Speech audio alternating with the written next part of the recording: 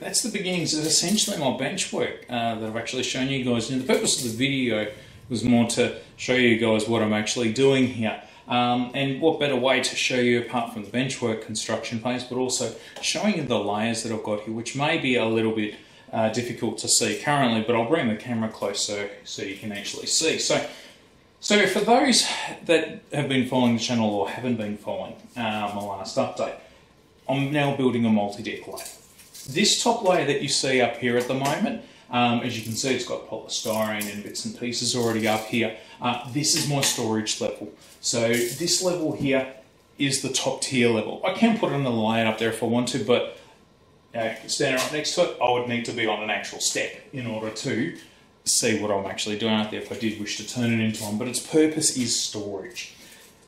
Here we've got essentially a first lot of uh, bench work. Now initially um, my plan was to have the double track main line underneath and then have the branch line up the top. However, I've actually flipped them around. So the branch line is going to be at the bottom and the double track main line will be up the top here. Um, and the reason being is essentially this table that's right here um, as well, which I'll go a bit a bit on that uh, shortly as well. So to give an idea, this top layer here at the moment is two feet wide. Um, this little block that you see right here is actually a coal wagon to show you uh, its actual size. So we've got a coal wagon, two track lines, and a small branch line uh, which will be running underneath. Now this will be also two feet deep at the moment as it goes around the desk here.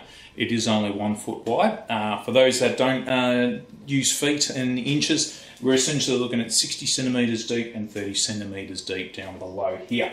Um, it will expand out uh, further. So at the moment it is one foot uh, wide here because of the table. But as it goes past the table, say about here, that's when it will open up to two feet wide and get the full uh, looks right here. Um, now, as my plan was uh, in my last video, here I'm actually going to be putting in my lights and the batten lights will be positioned around under here.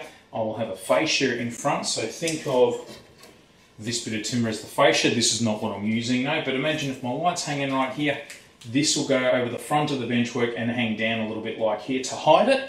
And then essentially we've got this scenic area right here, which will be quite good to look at, I certainly reckon.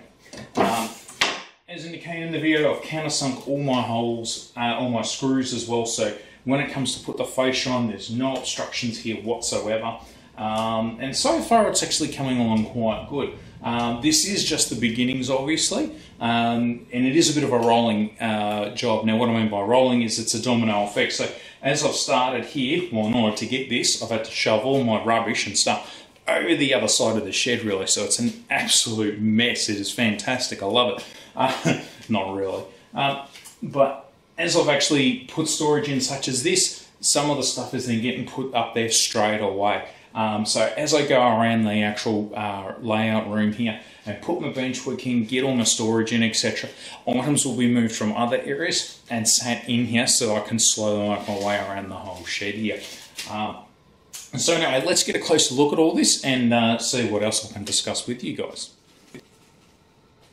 Okay, so here we are back, uh, essentially we'll start over in this direction here. So as you can see, I've put in a bit of a, a small stud wall here. And the reason why I've actually done this and not just attached the benchwork to the wall here itself is obviously I've got a window here and it's in my way. Now, looking at the middle benchwork right here, which will be the double track main line, while I could attach something attached to this benchwork and run the whole span of the window and attach over to here, there was no support in the middle, and this had me a little concerned. And my simple solution was, uh, you know, let's put in a, a, little wall here. So I've still got the use of my window, it only goes uh, this high.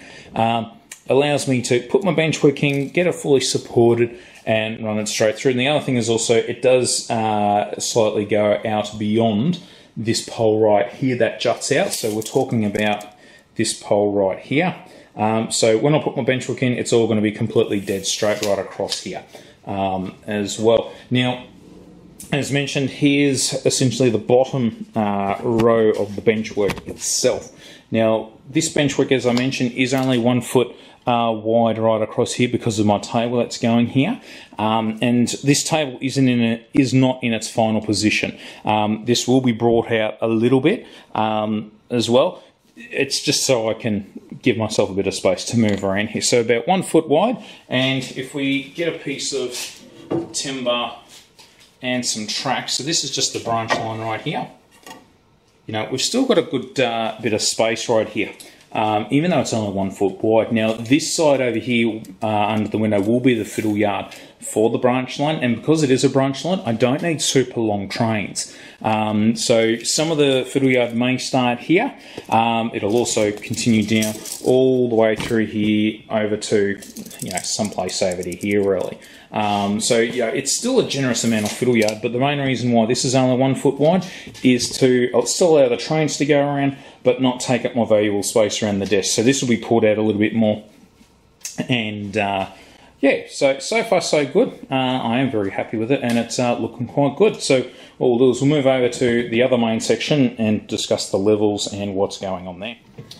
Okay, so we're over here at the main track, uh, main line, so the double track one now my tripod's at its maximum height and this is just a little bit too high for the tripod so I'm going to have to lift it up like this as you can see here.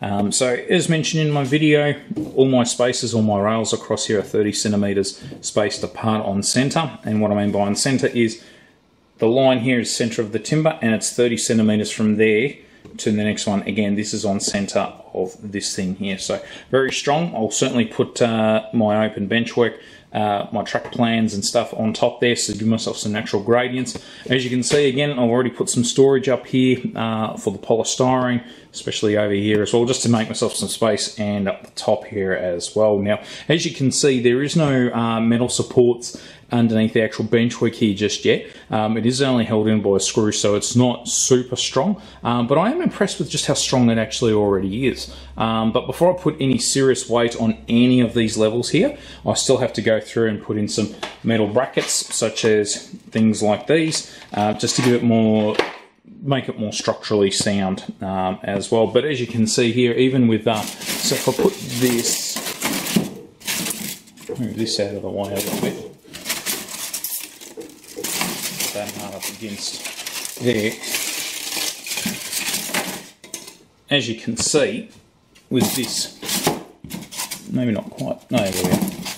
So that's hard up, you know, we're going to have some good uh, landscaping on that top layer. Now obviously the layer below is the branch line. Now as mentioned, it is still only one foot wide across the actual table right here, but then as you can see where the table finishes about here, my uh, benchwork will then expand out to two feet wide. Now, when you think about two feet in one track, there's going to be some excellent scenic stuff going right around the layout. Now, for those that are quite interested on uh, the spacing between these, um, I'll go through some measurements now with you, just to show you what the spacing actually is. Um, so if I get my trusty tape measure, so going from the very bottom ground to the top of my benchwork here, it's about 90 centimetres not about, it is spot on 90 centimetres to the top of that benchwork. So we're talking right, right here. So that's the equivalent of three feet high. Now, the reason I've done that is if I sit in a chair and I'm facing this, I am at a wonderful height for it uh, when sitting down. So it's going to be excellent and easy to get access to and do my modelling when I'm sitting down. Again, there'll be some lights positioned above here on the benchwork, shining down with a fascia in front to hide the globe. Uh, but, you know, right here, and that'll be quite good. Now, the spacing in between the levels, going from here to the next bit of benchwork is 42 centimetres. Um, but obviously the next distance above that is around about 49 centimetres where the next lot of bench work actually starts. So um, to me that's a good size uh, and good distance between the two which I've looked at. It also enables me to get, when I get my backscene put in here and everything else, um, you know, it's um, I don't need to cut timber down to width so it fits. I've looked at lumber and everything just to make my life a bit easier. And the other thing also, when we have a look at the gap between the next layer and the storage level above, it's the same dimensions as well in the gap between there. So um, I'm very happy with the spacing on this and I think it's going to work extremely good.